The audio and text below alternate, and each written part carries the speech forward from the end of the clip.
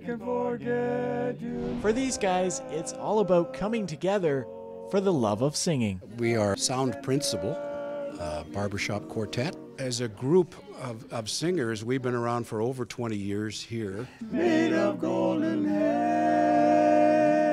We get together uh, once a week, generally on Tuesday evenings, and sing for three hours and rehearse. And whenever we're invited out to uh, perform, we go where we're invited. Every February 14th, things get a little busier than normal as the quartet can deliver as many as 40 singing Valentines. Hello, Roxanne.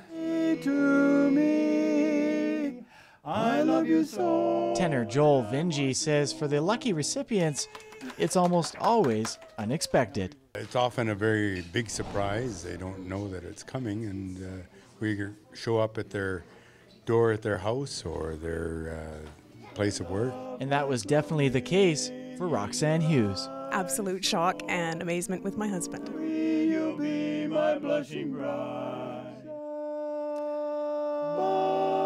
Normally he gives sends flowers and has a nice card, and I did have a nice card this morning, but that was about it. We had decided not to do anything crazy for Valentine's Day. Obviously, Roxanne's husband didn't follow the plan. Marge? Marge Bossenberry was also caught by surprise, receiving her first singing Valentine after 41 years of marriage. I do get flowers every year, but I didn't expect this. This one topped it. Well, thank you. That's beautiful. Husband Don admits that straying from the usual while keeping this a secret was a challenge. I didn't rush out this morning and get a get a bouquet or anything because I knew I was doing this and uh, I was hoping it would catch her by surprise.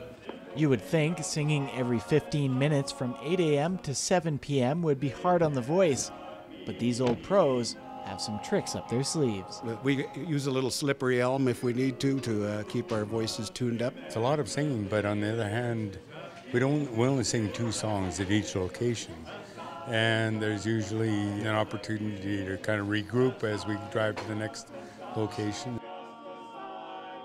The ultimate question now is how do you raise the bar next year? He can't. Jamaica maybe, but no, that's that's the topper for me.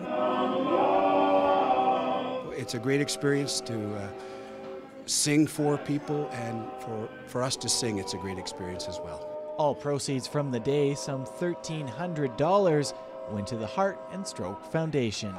For Go Kootenays in Cranbrook, I'm Blaine Evans.